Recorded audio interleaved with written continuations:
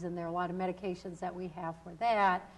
In the moderate stages of the disease, people get behavioral problems where they'll be like asleep during the day and up all night. That's something that caregivers have a really Mm. hard time with because that means they're up all night, you know, um, and, it- and it just doesn't doesn't work. So there are things we can do for sleep sometimes, or, or restlessness, or agitation. Sometimes patients get psychotic, they get you know delusional, they think someone's stealing their things, where you know really they just misplaced it or forgot where they put it or something, and they mm-hmm. kind of make up these stories, and sometimes they get out of hand. And so there are a lot of treatments for the symptoms of the disease.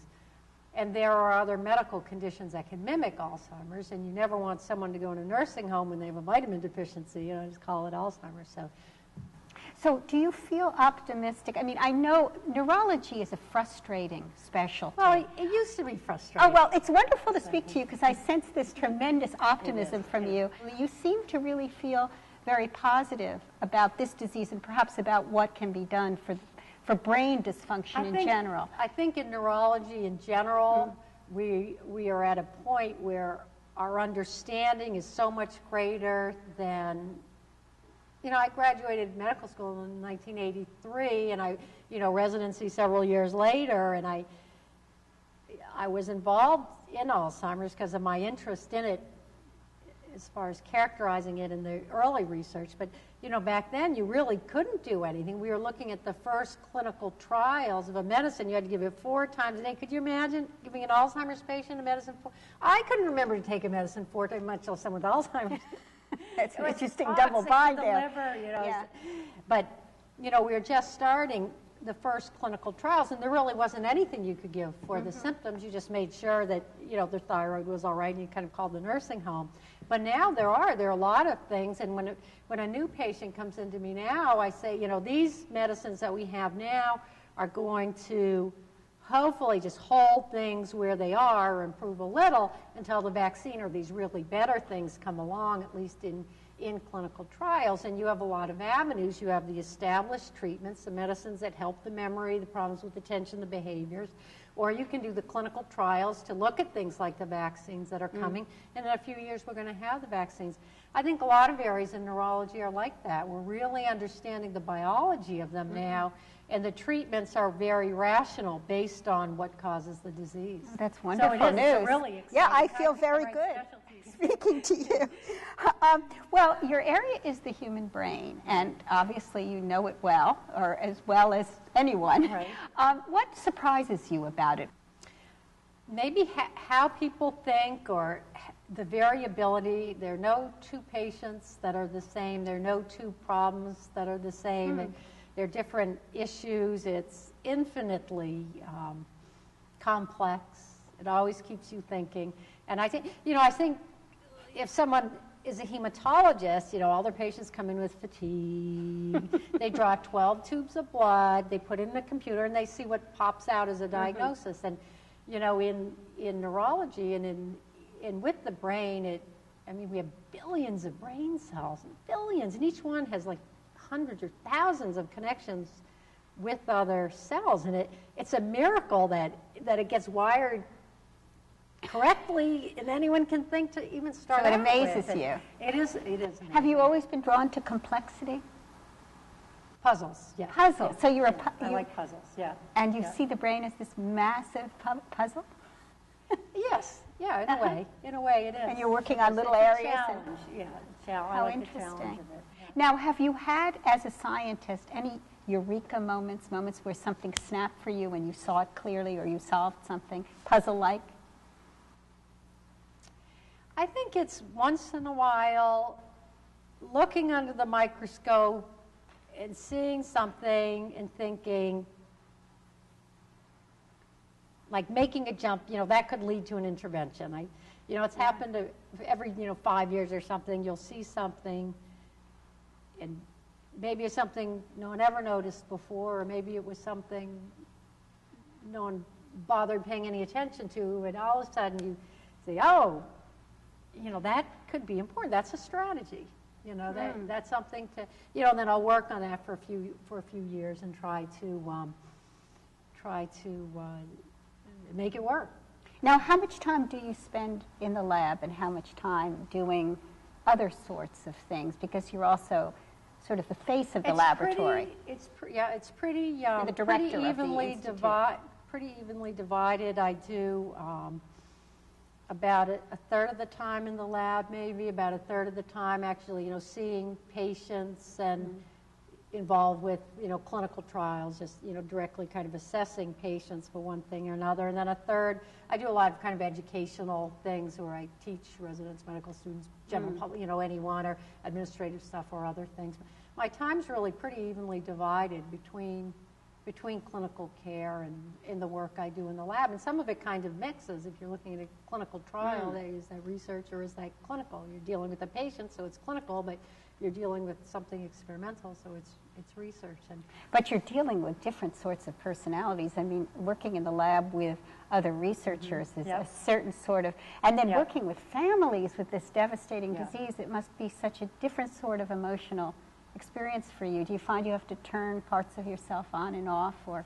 I like the diversity of it, yeah, yeah, I like to, mm. To switch, wear different hats, switch things around a little bit. Yeah. But I'm lucky, I have, I have wonderful people working with our department, we have a wonderful chair, and I have all the people kind of working under me in the lab and in the clinic, our nurses, our, our, our scientists, and our clinicians, they're, they're really, um, they're very, very dedicated and, and people who are excellent at what they do.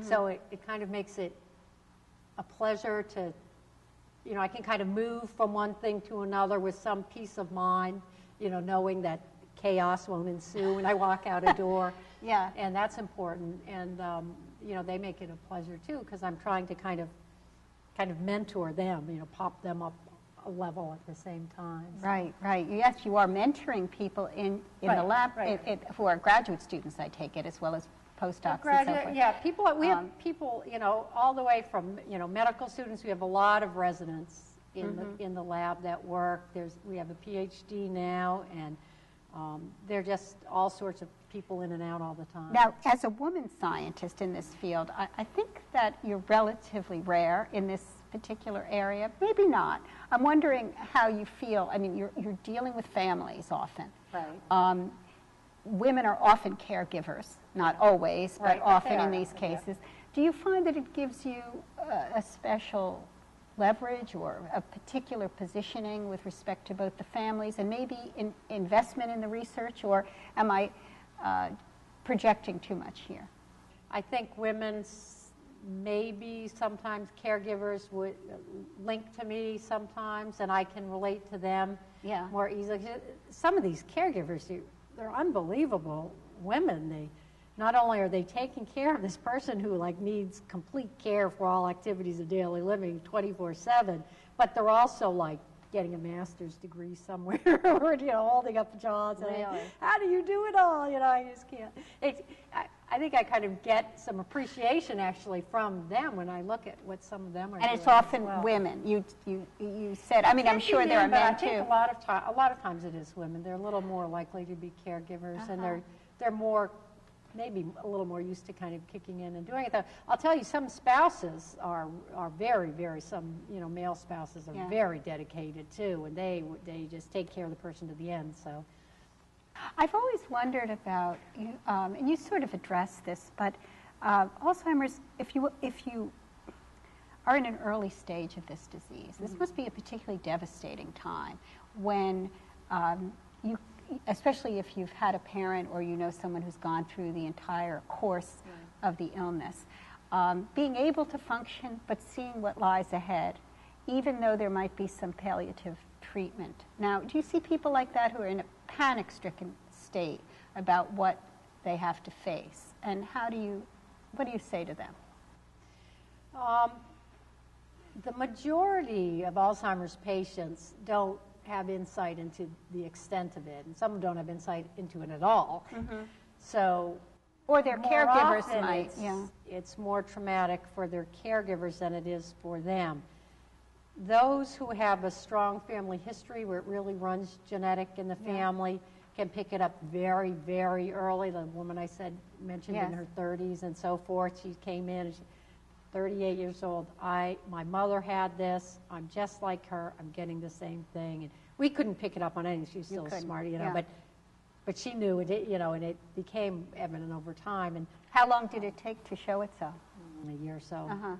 But she It- It's just it. that she was so smart, you know, she Yeah. just dropped, she, she noticed that little first drop, Uh-huh. you know, and her IQ was still way, way high.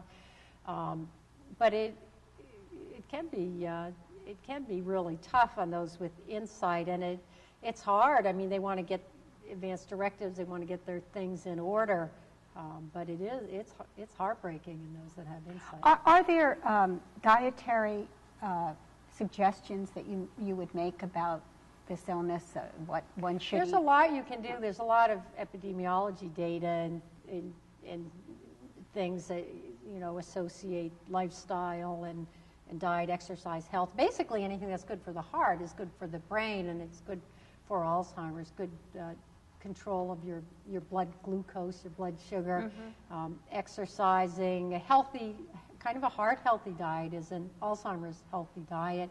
I have a uh, MPH uh, on our faculty who's interested in looking at caffeine as a protective effect um, because there's some, some literature showing that it, um, it impacts some processes in the brain long term.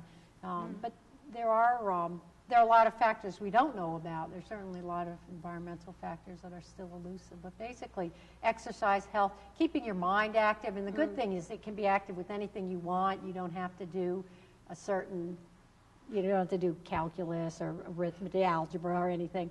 You can do anything, even things that involve, you know, social interactions, as long as you're making arrangements or dealing with situations or something that, that keeps you challenged mentally. All of that seems to, it's almost like the brain is a muscle in that use it or lose it. If you, you keep your brain active and thinking, it, it's stronger and more robust. If you keep your body active, it has positive influences on things that get into the brain and, and keep it healthy too.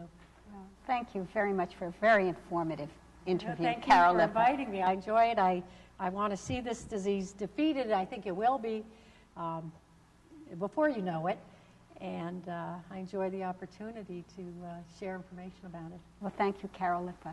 And thank you for joining us today on the Drexel interview.